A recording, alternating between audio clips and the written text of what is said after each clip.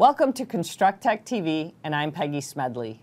All year, we have been taking you inside smart cities and how they are built, from Pittsburgh all the way to San Diego. So, for today's show, we're going to take a quick break from looking at one specific city, and instead, we're going to have an entire episode look at the future of construction. The show will focus on how construction is changing from commercial all the way to residential and from the office to the job site. On this segment of the show, I will give you my personal insights. So, but first, let me paint a picture for you just for a minute. You're at the job site, a machine is humming along next to you while it's laying bricks.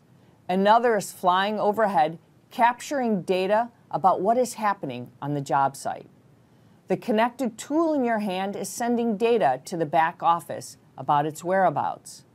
At the same time, a 3D printer is producing components for your job. This is the job site I want you to imagine. I want you to visualize in your mind's eye this job site as we continue to talk throughout this entire episode. The good news is all this technology is actually here today. We have been talking about robotics, drones, and even 3D printing for years. And from what I can see, this isn't going to change anytime soon. Zion Market Research suggests digital transformation will continue to grow more than 19% between 2016 and 2021. In construction, we will see more automation at the job site, and data will continue to attain exponential growth.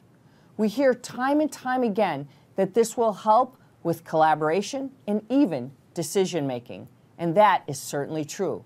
But there is bad news. There are still some very real hurdles preventing us from getting there.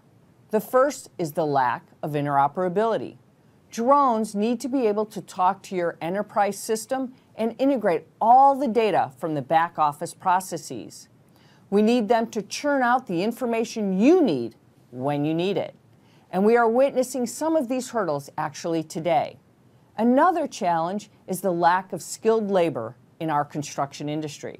And I'm going to be very candid here. It's our responsibility as an industry to encourage the next generation to be excited about construction. And I would actually argue that it all starts with technology. There are two key ways technology can help. First, it can help make construction look cool. Skilled workers become more attractive when there are joysticks, drones, VR, AR, all of these things involved. And second, technology can actually help employees be more efficient on the job. We need technology more than ever before. So that's my two cents for today. The technology is here, the data is being generated at rates faster than ever before, but it's harder to implement and even manage. And that's precisely where we need to start.